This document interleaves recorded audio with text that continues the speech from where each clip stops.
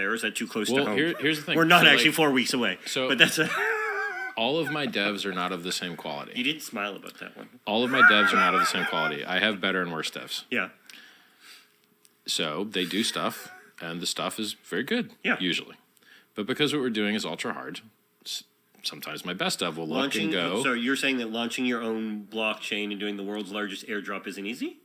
Yeah, there's a reason that so many billions of dollars are lost to code Yeah. bugs in other people's projects Yeah. that aren't mine.